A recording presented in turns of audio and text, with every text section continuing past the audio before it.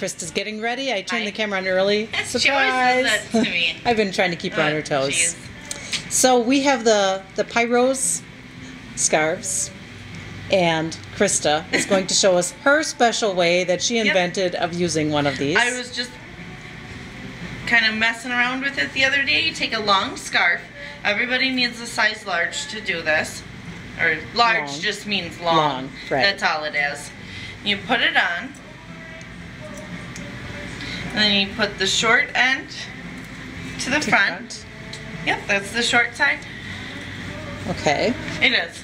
Okay. You turn it. I was giving her that I don't know look. Okay. Then you turn it.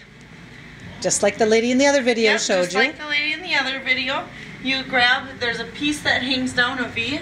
You grab that, you bring it to your side, take the front, and then you just tie it in a simple knot. Mhm. And This is adorable the way she's got and it. And then you just wear wear like it like this. And then, if you want to wear it a different way, same thing, you just turn it so the knot is in the back. It's very and, cute. And you have this new neckline it creates Mm-hmm. for you. it's very nice. And then accent that with your sunglasses because they look great. Oh, Yeah, where they go. We've got brand new sunglasses just came in. Those are Sunglasses. great. Orange my and orange, orange- switch flops. We have that- the switch see it? flops. Mm-hmm. Perfect. Very very nice. Match any scarf. Now that is a cute day in summer.